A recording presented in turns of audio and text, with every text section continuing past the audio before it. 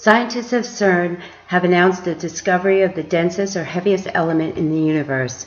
The new element is governmentium.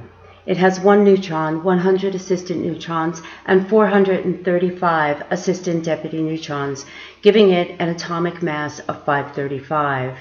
These 535 particles are held together by forces called morons, which are surrounded by vast quantities of lefton-like particles called pions. Since governmentium has no electrons or protons, it is inert.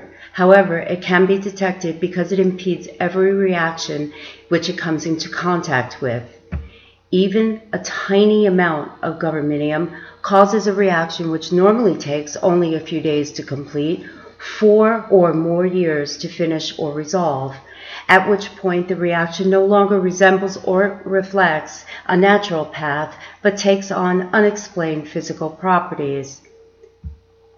This process is commonly referred to as quantum chaos. Governmentium has a normal half-life of 2 to 8 years. It does not decay, but instead undergoes a reorganization in which a portion of the assistant neutrons and deputy neutrons exchange places.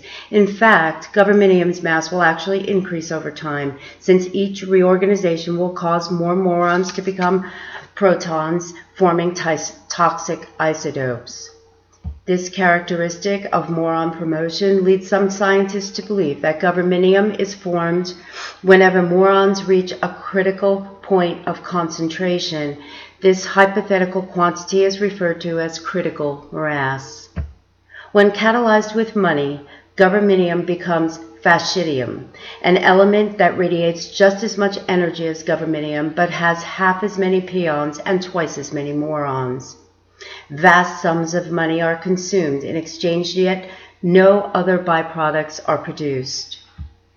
One notable characteristic of fascidium is that it will no longer react with lefton-like particles or pions, which it consumed in its creation, and exponentially creates more and more toxic isotopes, which poison everything it comes into contact with.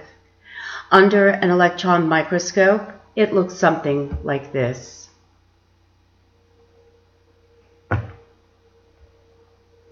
Thank you for watching and please share this video.